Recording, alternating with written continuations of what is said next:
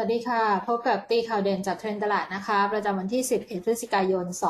2563 นะคะสำหรับภาพรวมตลาดวันนี้เราก็ยังมองอิงทางบวกอยู่นะคะ เมื่อวานนี้ตลาดหุ้นถือไทยถือว่ามีความสดใสค่อนข้างมากนะคะ บวกไปกว่า 55 จุดนะคะ ปริมาณการซื้อขายก็สูงที่สุดในรอบปีนะคะ ประมาณ 1.6 แสนล้านบาทนะคะ แล้วถ้าไปจับตาดูยอดซื้อของต่างชาตินี้ต้องบอกว่าซื้อสุดที่เข้ามาในปริมาณที่ค่อนข้างมาก ๆ ทีเดียวนะคะ ประมาณหมื่น 8,000 กว่าล้านบาทนะคะ ซึ่งตัวเลขในระดับหมื่นล้านบาทขึ้นไปเนี่ยเห็นไม่บ่อยนะคะหลาย ๆ ปีจะเห็นสักครั้งหนึ่งนะคะ แล้วก็ต้องบอกว่า 18,000 กว่าล้านบาทที่ซื้อสุทธิเข้ามานี้เนี่ยถือว่าสูงสุดในรอบ มากๆหลาย ๆ ปีมากๆนะคะครั้งสุดท้ายที่เห็นน่าจะอยู่ที่ประมาณปลายปี 2010 นะคะ ที่ซื้อเข้ามา 20,000 กว่าล้านนะคะ ซึ่งตรงนั้นนี่ก็ก็มองว่ายอดซื้อสุดทธิครั้งนี้เนี่ยก็ถือว่าน่าจะมีอิทธิพลต่อเนื่องนะคะทำให้เซนติเมนต์ในการลงทุนในอยู่ในทางเชิงบวกนะคะ แต่ว่ากรอบการปรับเพิ่มขึ้นของตลาดวันนี้เนี่ยเรามองว่าน่าจะจำกัดมากขึ้นนะคะเมื่อวานนี้นี่ขึ้นไป 55 จุด ถือว่าค่อนข้างเยอะนะคะ แต่ถ้ามองย้อนกลับไปเนี่ยประมาณ ห้าหกวันที่ผ่านมาเนี่ยเซตอินเด็กขึ้นมาอย่างต่อเนื่องแล้วขึ้นมาค่อนข้างแรงนะคะถ้าจำกันได้เราขึ้นมาตั้งแต่ประมาณ 1,190 กว่าๆนะคะไม่ถึง 1,200ดีนะคะช่วงแค่ 5 วันทำการที่ผ่านมานะคะก็บวกไปประมาณเกือบเกือบ 150 จุดแล้วนะคะในช่วงแค่ 5 วันนะคะเพราะฉะนั้นเนี่ยอาจจะมีการลด แรงความเร่งในการวิ่งเนี่ยลงไปบ้างนะคะ แต่เซนติเมนต์โดยรวมยังถือว่าอิงทางด้านเชิงบวกอยู่นะคะ วันนี้เราให้กรอบ 1320 1360 นะคะ พอไปถึงแนวต้านแถวๆประมาณ 1350 หรือ 1360 เนี่ย คิดว่าน่าจะเริ่มเห็นแรงขายทำกำไรออกมาเป็นระยะนะคะ อย่างที่บอกว่าขึ้นมาตลอดทางแค่ 5 วันเนี่ยค่อนข้างที่จะเยอะนะคะเพราะฉะนั้นเนี่ยก็มีโอกาสเห็น profit taking ในระหว่างทางได้นะคะ สำหรับกลยุทธ์เนี่ยเราก็ยังมองว่าน่าจะน่ามีความน่าสนใจในการเลือกหุ้นในกลุ่มที่และกาดกลุ่มที่ได้ประโยชน์จากเรื่องของวัคซีน เพราะว่าครั้งนี้เนี่ยต้องบอกว่ารอบนี้ที่ห้าหกห้าหกวันที่ขึ้นมาเนี่ยขึ้นมาจากเรื่องของการผลการเลือกตั้งประธานาธิบดีสหรัฐ แล้วก็มาบวกต่อด้วยเรื่องของตัวความสำเร็จของวัคซีนนะคะที่เพิ่งประกาศออกมา ซึ่งตรงนี้เนี่ยก็ถือว่า ยังคงมีแรงหนุนในปัจจัยเรื่องของวัคซีนอยู่นะคะ ตัวที่ขึ้นไปเยอะวิ่งไล่ตามก็จะเหนื่อยหน่อยนะคะ อาจจะล่องหันมาหาเลือกหุ้นที่ยังดูแลกกาดอยู่ในกลุ่มเดียวกันนะคะ แล้วก็ในช่วงนี้เนี่ยบาทแข็งค่าค่อนข้างจะเยอะนะคะ เพราะฉะนั้นตรงนี้ก็ถือว่าเป็นอีกธีมหนึ่งที่น่าสนใจนะคะ ส่วนกลุ่มที่เคยได้ประโยชน์ในช่วงนานมาแล้วตั้งแต่รอบปีที่ผ่านมานะคะ ก็คือเรื่องของโควิด -19 นะคะ กลุ่มนั้นเนี่ยขึ้นไปค่อนข้างเยอะเหมือนกันนะคะ เพราะฉะนั้นในช่วงนี้เขาก็อาจจะซบเซาดูนะลงบ้าได้บ้างนะคะ เพราะฉะนั้นก็อาจจะหลีกเลี่ยงไปก่อนสำหรับกลุ่มที่เคยได้ประโยชน์จากตัวไวรัสโควิด -19 นะคะ ที่พุ่งขึ้นไปค่อนข้างเยอะเพราะมี profit taking ลงมานะคะส่วนประเด็นด้านอื่นนะคะ ปัจจัยข้างนอกเนี่ยก็ถือว่าเป็นตัวหลีดให้เซตขึ้นมาในรอบนี้ ส่วนปัจจัยภายในเนี่ยเป็นปัจจัยรองนะคะ แต่ยังคงต้องตามต่อเหมือนกันนะคะ ทางบวกก็คงจะเป็นเรื่องของมาตรการภาครัฐนะคะ ตัวคนละครึ่งเนี่ยถือว่า ได้รับการตอบรับค่อนข้างดีนะคะ รัฐบาลออกมาบอกว่าค่อนข้างที่จะพอใจนะคะกำลังพิจารณาอยู่เตรียมที่จะพิจารณาว่าจะต่ออายุนะคะ เดี๋ยวจะเสนอที่ประชุมสบศในสัปดาห์หน้านะคะ ถ้าผลตอบรับยังคงดีต่อเนื่องนะคะส่วนประเด็นเรื่องของการเพิ่มวงเงินสูงสุดที่ใช้ต่อวันจาก 150 บาทเนี่ยบอกว่ายังต้องพิจารณาอีกหลายหลายด้านนะคะ ก็เป็นการแบ่งรับแบ่งสู้อยู่นะคะ ตอนนี้ส่วนประเด็นที่อาจจะดูเป็นปัจจัยโอเวอร์แฮง ลบครอบงำตลาดอยู่นะคะ อย่างต่อเนื่องและคงต้องตามต่อ ยังมองว่าเบาต้องตามต่อไปจนถึงปีหน้านะคะก็คือเรื่องของประเด็นการเมืองภายในนะคะ เรื่องของการแก้ไขรัฐธรรมนูญนะคะ ตอนนี้ก็ความคืบหน้าที่มีเนี่ยก็อาจจะยังให้สัญญาณที่ไม่ค่อยดีมากนักนะคะ มีสสพักพลังประชารัฐ แล้วก็สวจำนวนหนึ่งนะคะไปยื่นเรื่องต่อสารรัฐธรรมนูญนะคะให้วินิจฉัยเรื่องของร่างแก้ไขรัฐธรรมนูญ3ฉบับนะคะโดยโดยเฉพาะในมาตรา 256 นะคะว่า มีความขัดแย้งต่อตัวบทบัญญัติแห่งรัฐธรรมนูญหรือไม่ก็คือสรุปง่ายๆว่าขัดรัฐธรรมนูญหรือเปล่านะคะทำได้ไหมอะไรอย่างเงี้ยนะคะก็ถือว่าเป็นสัญญาณที่ไม่ดีในขณะที่เป็นหนึ่งในข้อเรียกร้องหลักของผู้ชุมนุมที่วิ่งออกมาตามท้องถนนเป็นแฟลชม็อบในช่วงนี้อยู่นะคะ เพราะฉะนั้นก็เลยมองว่าอาจจะเป็นปัจจัยทางด้านการเมืองที่คงต้องตามยาวนะคะส่วนส่วนเรื่องของการแก้ไขรัฐธรรมนูญส่วน เรื่องของการอ่านคำวินิจฉัยคุณสมบัติของนายกรัฐมนตรีนะคะ ในวันที่ 2 ธันวาคมนี้นะก็เป็นอีกประเด็นหนึ่งที่ทิ้งไม่ได้เหมือนกันนะคะกรณีเรื่องของอาศัยในบ้านพักทหารนะคะ หลังจากเกษียณอายุราชการนะคะอันนี้คงต้องจับตา ต่อเหมือนกันนะคะ เพราะว่าก็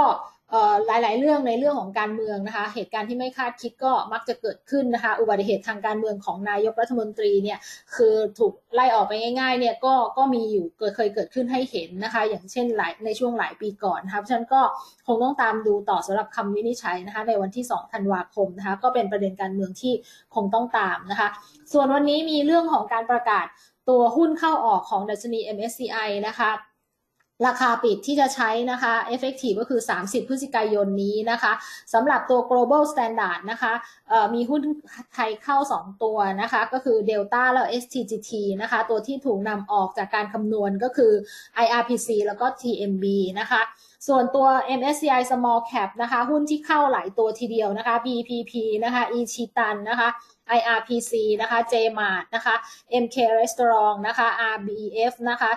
TFG Tisco แล้วก็ตัว VGI นะคะ ส่วนหุ้นที่ถูกปรับออกในครั้งนี้นะคะ มี 2 ตัวนะคะ ก็คือ STPI แล้วก็การบินไทยนะคะ หุ้นเด่นประจำวันนะคะ วันนี้เราเลือก 2 ตัวนะคะ ตัวแรกเป็นตัวกาฟนะคะ ตัวนี้ e a r n i n g lead เป็นหลักนะคะ เราก็ยังมองคาดการเก่งกำไรช่วงโค้งสุดท้ายของงบไตรมาสที่ 3 นะคะ ก็จะเติบโตประมาณ 25%นะคะ แล้วก็ยังมองความต่อเนื่องที่ดีนะคะใน 4Q63 ด้วยนะคะ จากโครงการพลังงานลมนะคะ ก็เรายังคงชอบอยู่นะคะสำหรับตัวกาฟนะคะ อีกตัวหนึ่งเป็นหุ้นตัวเล็กหน่อยนะคะ เป็น Mac Group นะคะ ตัวนี้คาดการตัว e a r n i n g ไตรมาส 3 ก็จะดีเช่นเดียวกันนะคะจะเห็นการเติบโตทั้ง Q on Q แล้วก็ Year on Year นะคะ แล้วก็ในช่วงนี้วันนี้เนี่ยเป็นเทศกาล 11-11 นะคะก็น่าจะได้ประโยชน์นะคะสำหรับการจับจ่ายใช้สอยนะคะ เพราะว่ามีโปรโมชั่นค่อนข้างที่จะเยอะนะคะแล้วก็เป็นที่สนใจของตลาดนะคะแล้วก็เลือก MC Group เข้ามาเป็นอีกหนึ่งตัวเลือกนะคะ เออสองตัววันนี้นะคะ ที่ฝากเอาไว้ port model ของเราก็เลยตั้งซื้อทั้งสองตัวนะคะกราฟกับ MC Group เข้าไปนะคะ ที่ราคา ATO ส่วน Sabina ถือต่อนะคะเอ่อ technique pick สามตัววันนี้นะคะ เราเลือกตัว BGRIM นะคะ EA แล้วก็ตัว MC Group ค่ะ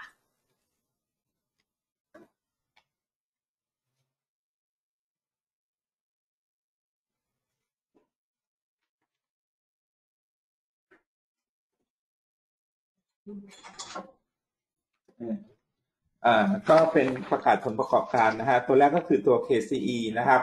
กำไรนะครับไตรมาสไตรมาสสามเนี่ยประกาศออกมาอยู่ 250 ล้านนะฮะลดลง 2% year on year แต่เพิ่มขึ้น 250% Q on Q นะครับ โดยยอดขายในไตรมาสสามเนี่ยอยู่ที่ 87.5 ล้านเหรียญนะฮะเพิ่มขึ้น 30% Q on Q อันนี้ก็เป็นผลจากการฟื้นตัวหลังคลายล็อกดาวน์นะครับ แต่หากมาทิ้นเนี่ย ยังอยู่ในระดับใกล้เคียงกับไตรมาส 2 ก็คือที่ 19%จากไตรมาส 2 ที่ 18.2%เนื่องจากเป็นการเบิกใช้สต็อกเก่า ซึ่งมีต้นทุนสูงนะครับ อีกทั้งยังได้รับผลจากเงินบาทแข็งค่านะฮะแล้วก็ราคาทองแดงที่เพิ่มขึ้นนะครับ ค่าใช้จ่ายขายและบริหารเนี่ยเพิ่มขึ้นนะฮะ 16% Q on Q นะครับเนื่องจากบางส่วนเนี่ยมีการลดจำนวนพนักงาน แล้วก็จำนวนการทำงานลงนะฮะเพื่อให้สอดคล้องกับยอดขายที่ลดลงนะฮะแต่มี ภาษีจ่ายเพิ่มขึ้นนะฮะเนื่องจากมีการตั้งขาดทุนจากการด้อยค่าไม่สามารถใช้เป็นค่าใช้จ่ายทางภาษีได้นะฮะแล้วก็มีกำไรอัตราแลกเปลี่ยนเข้ามาด้วยอีก 70 ล้านบาทนะครับ แม้มาจิ้นเนี่ยอาจจะต่ำกว่าที่คาดไว้นะฮะแต่จะเห็นการฟื้นตัวขึ้นในไตรมาสถัดไปนะฮะทางฝ่ายมีมุมมองต่อการฟื้นตัวในปีหน้าจากการลุกผลิตผลิตภัณฑ์สินค้ามาจิ้นสูงนะที่ทำให้กำไรกลับมาฟื้นตัวอีกครั้งหนึ่งนะครับ ทางฝ่ายแนะนำถือไว้ก่อนนะครับเพื่อรอสอบถามถึงปัจจัยต่างๆ ที่จะเกิดขึ้นแล้วก็ผลกระทบต่อการดำเนินงานนะฮะในการประชุมในวันพรุ่งนี้นะครับตัว VGI นะครับก็ประกาศกำไรในไตรมาส 2 ปี 64 เนี่ยดีกว่าที่คาดไว้นะฮะก็พิกมีมีกำไรอยู่ที่ 12 ล้านบาท จากที่คาดว่าจะขาดทุน 29 ล้านบาท อันนี้ก็เป็นจากตัวรายได้นะฮะที่ปรับตัวดีกว่าที่คาดไว้นะฮะ 15.6% โดยตัวรายได้เนี่ยปรับตัวลดลง 31% year on year แต่เพิ่มขึ้น 61% Q on Q นะครับ อันนี้ก็เป็นไปตามสถานการณ์ของตัวโควิดนะฮะที่มีผลต่อเม็ดเงินโฆษณานะฮะ ถ้าเทียบ year on year ก็หดตัวลงนะฮะ แต่ก็ฟื้นตัว Q on Q นะครับ ราคาขายก็มีการปรับตัวลงนะครับ แล้วก็อัตราการขายเนี่ยลดลงเหลือ 50%นะครับ แต่ก็ถือว่าฟื้นตัวดีจากในไตรมาสหนึ่งที่อยู่แค่เพียง 30%นะครับ ตัวรายได้เนี่ยมีการปรับตัวลงทั้งในเรื่องของสื่อโฆษณา แล้วก็สื่อทางด้านดิจิทัลนะครับ ต้นทุนก็ปรับตัวลดลงนะฮะ year on year แต่เพิ่มขึ้น Q on Q นะฮะอันนี้ก็เป็นไปตามรายได้แต่ SCNA เนี่ยยังคงปรับตัวเพิ่มขึ้น year on year เนื่องจากมีการบันทึกค่าใช้จ่ายครั้งเดียวเข้ามา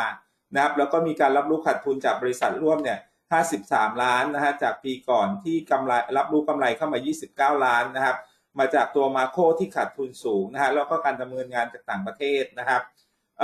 เรามองจุดต่ำสุดเนี่ยผ่านไปแล้วในไตรมาสหนึ่งนะฮะแล้วก็เริ่มพลิกกลับมามีกำไรได้ในไตรมาสสองก็คาดว่าในครึ่งปีหลังน่าจะเห็นการฟื้นตัวได้ต่อเนื่องนะฮะแต่การชุมนุมประท้วงที่อาจทำให้ความเชื่อมั่นผู้บริโภคลดลงเนี่ยเอ่ออาจจะกดดันต่อเม็ดเงินโฆษณาให้ชะลอตัวอีกครั้งนะฮะซึ่งอันนี้เนี่ยต้องคอยติดตามดูอีกทีหนึ่งนะครับ ยังคงคาดการกำไรในปีนี้ของตัว VGI อยู่ที่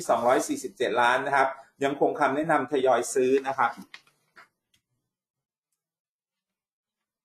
ค่ะ ต่อที่จูเวลี่นะคะ ก็ประกาศกำไรสุทธิไตรมาสสามนะคะทำ ทำสถิติใหม่นะคะ รายไตรมาสที่ 96 ล้านนะคะ ดีกว่าที่ทางฝ่ายคาดไว้มากนะคะ จากรายได้การขายที่เติบโต 23.6% year on year แล้วก็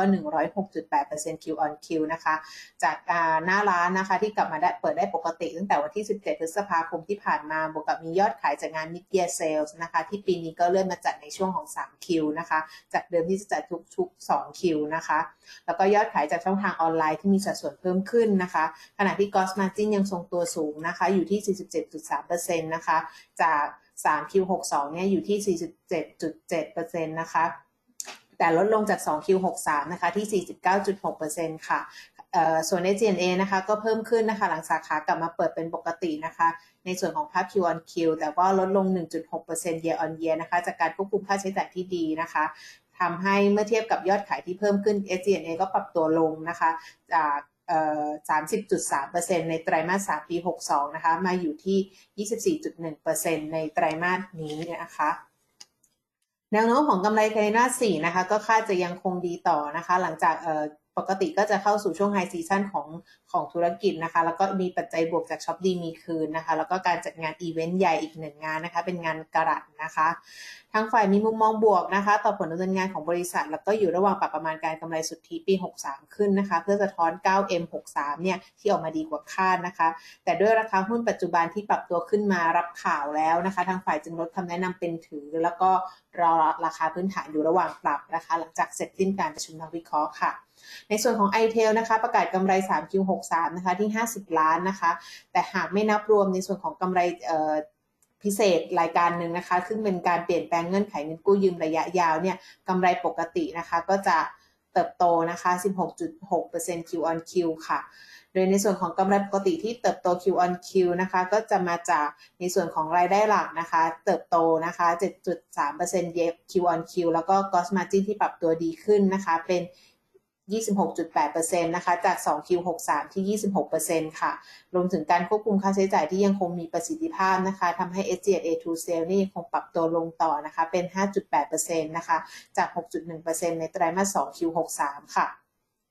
สำหรับแนวโน้มผลดำเนินงานนะคะ ทางฝ่ายก็ยังคงมีมุมมองบวกนะคะ ต่อการที่จะเติบโตนะคะ ทั้งจากแบ็กหลอกที่มีอยู่แล้วก็งานใหม่ ๆ ที่จะเข้ามานะคะ ซึ่งก็จะสอดรับกับการลงทุนของภาครัฐและเอกชนนะคะ ที่ต้องการผลักดันในเรื่องของการลงทุนทางด้านเทคโนโลยีนะคะ ทางฝ่ายก็ยังคงประมาณการกำไรสุทธิปีนี้นะคะที่ 212 ล้านนะคะ แล้วก็เติบโตต่อในปี 64 นะคะ อีก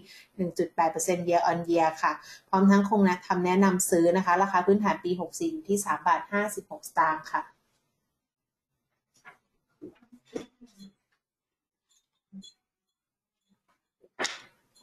ครับต่อนะครับตัว AP นะครับ เมื่อวานนี้ประกาศงบก็ดีกว่าคาดนิดหน่อย แต่ว่าพอไปมิ팅แล้วเราความรู้สึกเราก็ดีขึ้นนะครับ คือถ้าดูไปข้างหน้าเนี่ย ตอนนี้เนี่ยการขายแนวราบตอนนี้เขาสบายมากนะครับเขาขายเหมือนตลาดดีมากนะครับ แต่จริงๆตลาดไม่ได้ดีมาก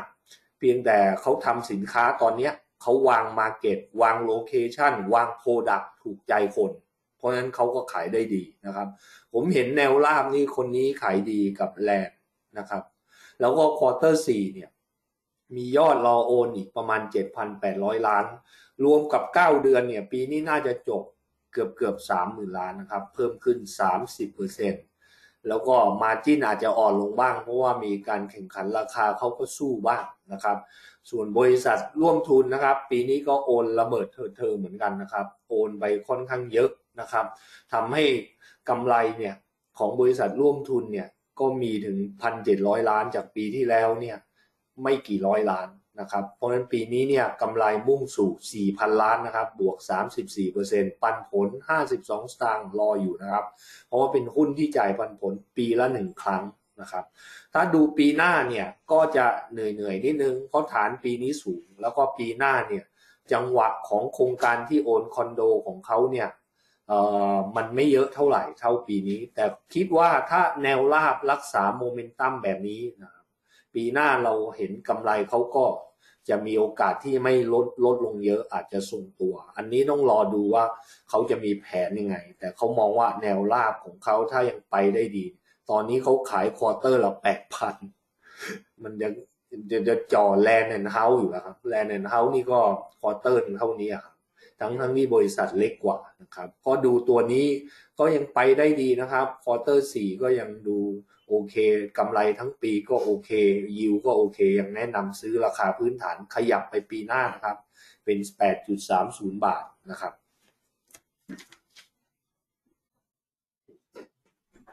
ครับต่อในส่วนของทองคำนะครับอทองคำเมื่อวานก็โมเมนตัมฟื้นตัวขึ้นมาได้บ้างนะครับ ผมหลังจากที่ เอ่อโดนแรงขายทำกำไรหนักเลยนะฮะเกือบร้อยเหรียญในในวันก่อนหน้านู้นเลยนะครับ แล้วก็เมื่อวานเนี้ยก็คือยังคงฟื้นตัวกลับมายืนแถวแถวหนึ่งแปดแปดศูนย์ได้นะครับเออแต่ว่าทาง SPDR ก็ยังไม่มีการซื้อใดๆนะครับ เมื่อวานนี้เออแล้วก็ประเด็นตอนนี้ที่เริ่มกลับมามองกันนะฮะจะเป็นในเรื่องของเอ่อแม้แม้ว่าล่าสุดเนี่ยคือจะให้ความสำคัญกับเรื่องประเด็นที่ว่าตัววัคซีนนะครับพัฒนาขึ้นมาเนี่ย จากทางไฟเซอร์แล้วก็ทาง BioNTech นะฮะจะทำให้เกิดแรงขายสินทรัพย์ปลอดภัย ทองคำก็เป็นหนึ่งในตัวนั้น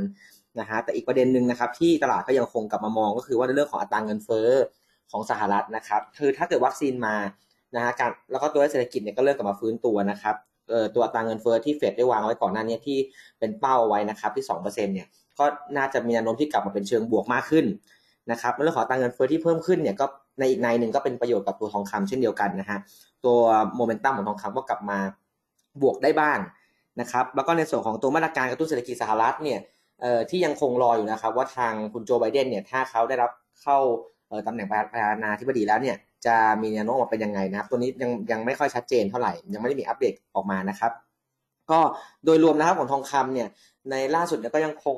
กลับมาเป็นแนวโน้มเชิงบวกได้บ้างนะครับ ผมแต่ว่าถามว่ากลับมาบวกเหมือนก่อนหน้านี้ไหมยังยังไม่นะครับ แต่ว่าในส่วนของแนวโน้มระยะสั้นเนี่ยเราก็ยังคงมองว่านาน่าจะฟื้นตัวขึ้นไปได้นะครับโดยกรอบวันนี้นะครับเรามองเป็น trading นะครับตัว GOZ 20นะครับที่ 1873 ถึง 1893 นะครับผมเออแล้วก็ตัว spread ระหว่างตัว spot กับตัว future อยู่อยู่ระหว่าง 3 เหรียญนะครับในแคบลงมาแล้วนะครับผมสำหรับมุมมองตลาดก็จบเพลงเท่านี้นะครับ สวัสดีครับ